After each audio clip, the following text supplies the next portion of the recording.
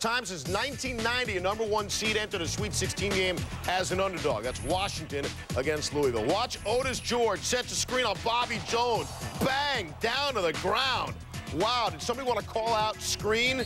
It'd be okay. Nate Robinson, Francisco Garcia got tangled up. That's Robinson's third. He goes to the bench. Garcia doesn't go to the bench. He just goes off. Garcia with the three. Off a screen. Hits another one.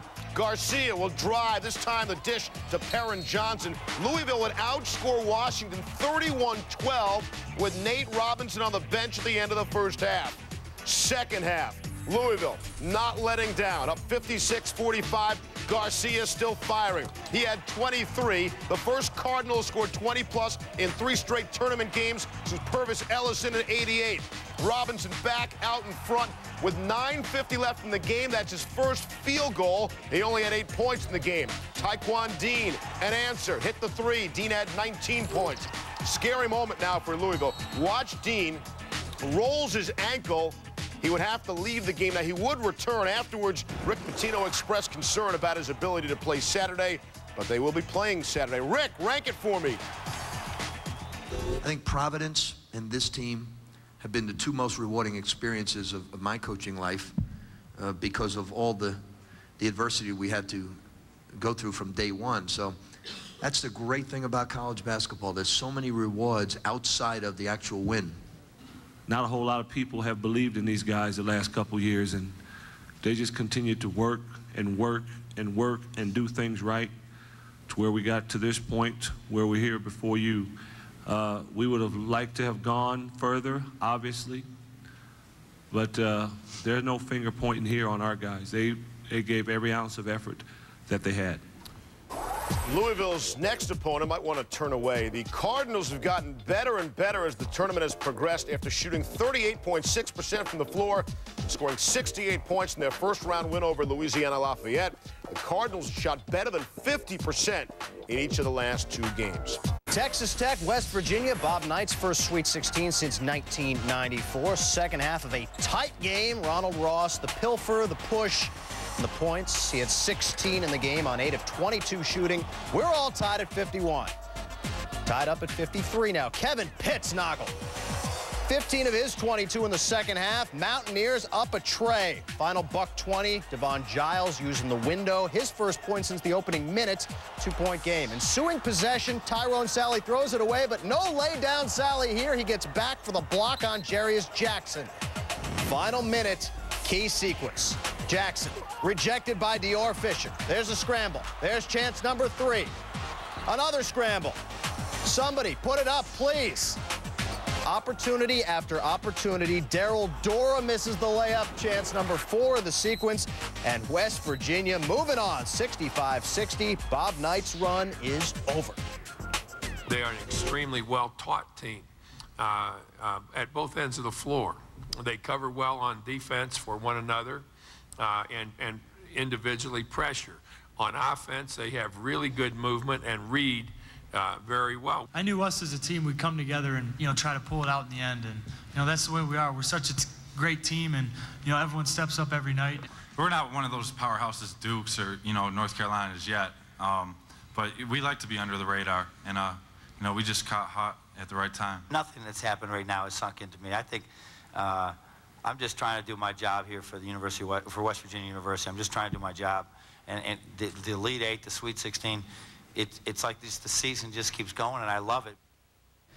How about West Virginia in the Elite Eight for the second time in school history? Back in 1959, the team's leading scorer, Jerry West. Bob Knight, by the way, a freshman at Ohio State that year. And one of the captains of that 59 Mountaineer squad, Ron Retton, whose daughter Mary Lou was a pretty fair gymnast.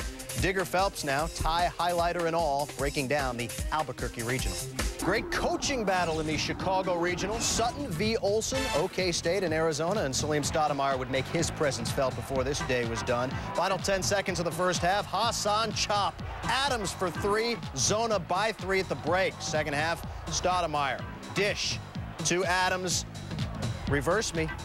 Hassan, 19 points, 10 rips. Cats up by seven and it's Salim. From deep, money. The Cats shoot 50% from beyond the arc. They're still down by one. Arizona takes the lead on a Channing Frye jumper. He had 15. Final 30 seconds. Joey Graham, who had a combined score of 15 points the first two games, 26 on Thursday. Cowboys back up. Final 10 seconds. Who are you going to go to? Yeah, Salim Stoudemire, 19 points, and that would be the game winner if OK State could not convert. Last chance, John Lucas, iron unkind. The Cats claw forward thanks to their star shooter. I thrive in those situations, and that's what I live for. That's why I play basketball, because um, I think big-time players step up in big-time situations, and I see myself as one of those type of players.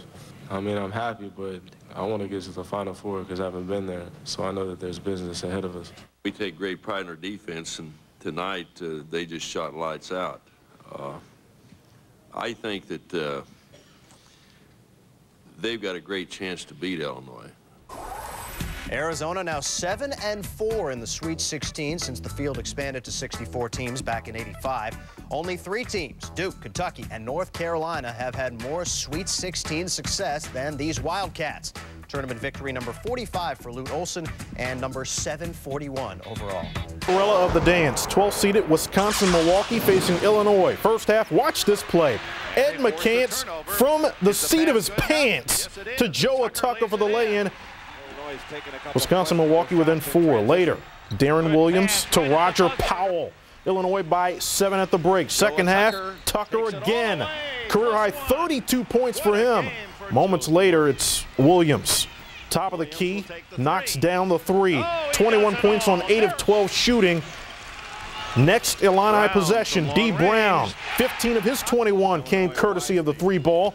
Over a minute to go. Williams, one of his eight dimes to Luther Head, who scored a dozen. The clock has struck midnight for Wisconsin-Milwaukee. 77-63. Illinois becomes the first team since Duke's 2001 title squad to win 35 games. Austin. So Coach K looking to continue his domination. Izzo 4-1 in Sweet 16 games. And Alan Anderson, 3 of 4 from three-point range. He had 17 points. Six-point game. Daniel Ewing, no. Lee Melchionni, oh yeah, he had seven. It's a four-point game. Then Michigan State getting out and running. Maurice Ager get out of his way. He had 14 points. Michigan State had 40 points in the paint. J.J. Redick. Would you believe his first field goal of the game came in the second half? He had just 13 points, 4-14 from the field. Redick, again from three, no. Sheldon Williams, the putback, but what happened there? The ball looked to go in and out, says Coach K. Well, Williams hung on the rim before the ball goes through the cylinder, and the ref calls offensive interference. 22 turnovers for Duke. Paul Davis, 20 points, 12 boards. Williams is out, fouled out. And then watch DeMarcus Nelson and J.J. Redick with Duke down six. Redick with 121 threes made this season. Nelson with 15. So who gets the ball to make the three? Nelson?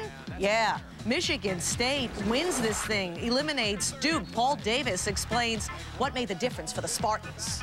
As a team, we just felt um, we just played a 40-minute war, and that's what it was. And to come out on top, there's no greater feeling um, than to be on that sidelines with uh, your coaches and your teammates. One thing I knew, uh, they weren't letting us win.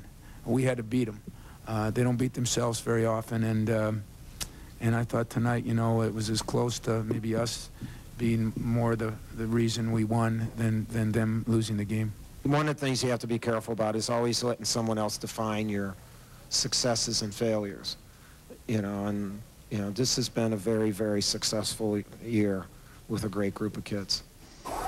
So the one seed Duke out. Michigan State pulls off a rare feat of revenge after losing to Duke by seven in the regular season. The Spartans eliminate the Blue Devils in the Sweet 16. The only previous time Coach K had lost in the NCAA tournament to a team he beat in the regular season, 1988, when the Jayhawks went on to win the national championship as a six seed.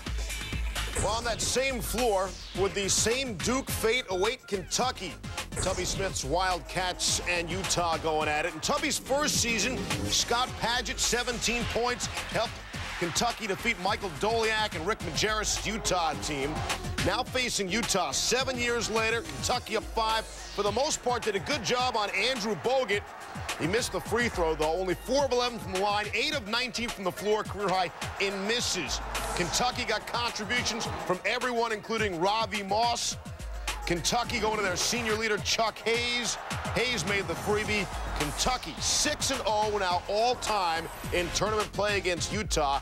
It's the best record by any school against any opponent in tournament history. In fact, only two matchups have occurred more often at all. That's Marquette in Kentucky and UCLA against San Francisco. Chris Fowler and our game day crew on the night that was in Austin. Late game in the Syracuse Regional, North Carolina, Villanova. Roy Williams got 37 NCAA tournament wins. That's great. No titles. First half. Villanova up eight. Randy Foye from three. So Roy and the Heels would trail by four at halftime. Second half, it really gets good. North Carolina's down three. Raymond Felton. He had 11 and 11 before fouling out for the first time all season. Bad time to do it. Tied at 50, Rashad McCants. 15 of his 17 came in the second half. North Carolina up seven. Marvin Williams with three. He had 16 in the game. Villanova was down eight. Where's Mike Nardi when you need him? Well, he's hanging out at the top of the key. Villanova trailed by five. 17 and a half seconds left, down for Randy Foye. Led the team of the season high 28, but missed the second free throw. Rebound of Will Sheridan. 11.6 seconds left. Villanova down three. Allan Ray drive, gets it to go. Called for traveling. Wait a second. Yuck. Did he travel instead of a bucket, foul, possible three-point play? It's a travel, a turnover, and likely the ball game. That's what costs Villanova. Here's Roy on that Villanova speed, or lack of it. They're very good, and it's easy to see how they teams slow you down in some ways because they take a lot of time on the offensive end of the floor. And then they kept getting offensive rebounds. There were three different times where we played defense for about 30 seconds. They got a rebound. We played for about another 30 seconds. And uh, uh, you slow people down with the way you play on the offensive end. It's, I've never in my life thought it was any great stat when the other team gave up few points if they control the ball on the offensive end of the floor, and they're good. I thought we was good enough to win this game, but we didn't, so I can't complain about that. But my 28 points don't matter because we lost. And the biggest thing is winning the game. And no matter if I had two points, I'd be happy if we win the game. North Carolina moving on. This tourney beginning to look a lot like the 2002 version when top-seeded Duke lost to a five seed from the Big Ten, just like this year. And the other ACC one seed advanced to the Final Four through Syracuse. The Tar Heels hope they can emulate the Terrapins' performance from three years ago. So who will the Tar Heels play in the Elite Eight? NC State or Wisconsin? Wisconsin, the Badgers were down nine at the half. They were down by as many as 10 in the first half, but after a pep talk, Badgers came out storming Sharif Chambliss. Wisconsin was 4 of 10 from three-point range. It's a four-point game. Alando Tucker, 22 points, including eight in a row for Tucker. He was 9 of 17 from the field. Wisconsin opened the second half on a 24-7 run. Later in the second, Wolfpack down six. Julius Hodge doing all he can. He had 14 points on 4 of 15 shooting, but Wisconsin was too much when it mattered most. Mike Wilkinson. Wisconsin moves on. Now more with Chris Fowler and the gang.